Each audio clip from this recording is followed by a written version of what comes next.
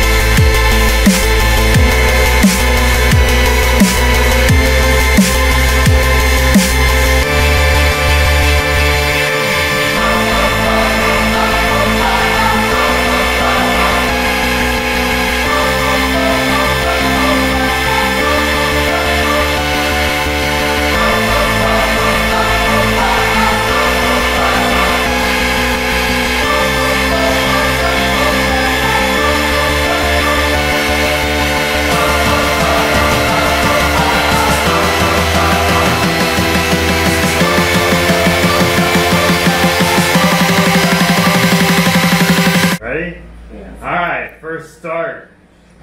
Rebuild H2. H2 rebuild.